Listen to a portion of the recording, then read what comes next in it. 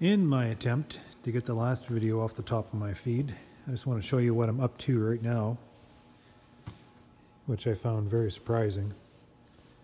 So I have a snap gauge, just trying to measure the uh, the bore differences to see if it's round or how out around this engine is. And take a look at this. Hard to do this with one hand.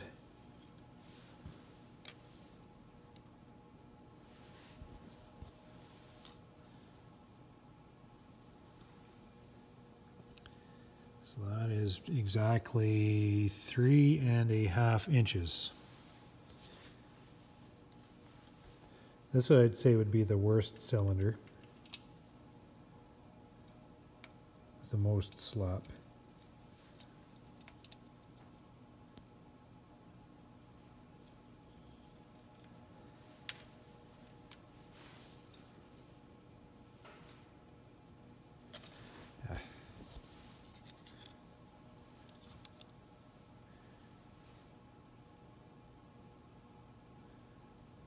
Three and a half inches. That cylinder is round. Let's try another one here.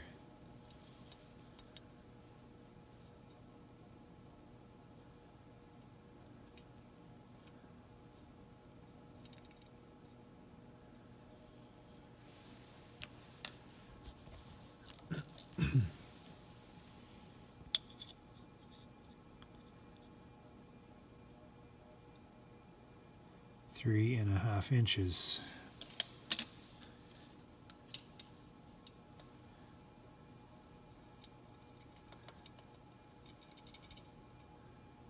My boys should be coming here in about an hour or so. Right now I'm working on my B truck. So we're going to pull these pistons out. Three and a half inches. So that one's round. Isn't it kind of odd that these are perfectly round, being such a worn engine that has pistons that have so much slop? Something is not right here. I'm also looking at these valve seats and they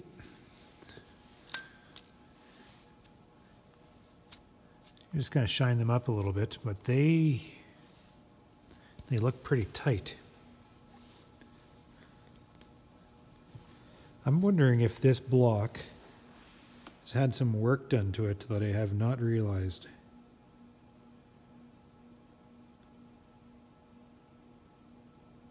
Something's not right. I wonder if these are the wrong pistons I got put back in. I wonder if they bored out these cylinder walls. I wonder if they put the same pistons back in.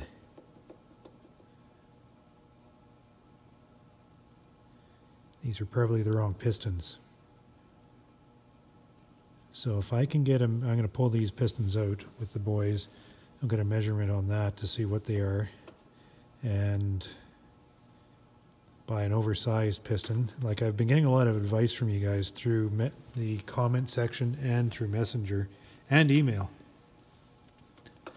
It's been quite helpful to me actually, just to kind of help me organize my thoughts. But if I get bigger pistons in here with a good set of rings, put her back together, bada bing, bada boom, I betcha they just didn't follow through with putting better pistons in. And someone told me to look at that 30. I don't know what that 30 means. Does that mean it's oversized by 30? So are these oversized pistons already?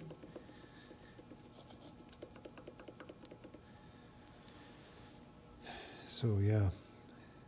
So once I get these out, I'll get some measurements and then take it to my uh, motorhead shop and get him to help me out. You know, I'll have the, my inside measurements here. I'm going to do them all, get the exact measurements this way and that way just to see if it's round. And with that, I'll give him the information and he'll tell me what cylinder or what piston to put in. He'll sell me, sell me the rings we are going to take off all this carbon, shine up this block, and give her a go.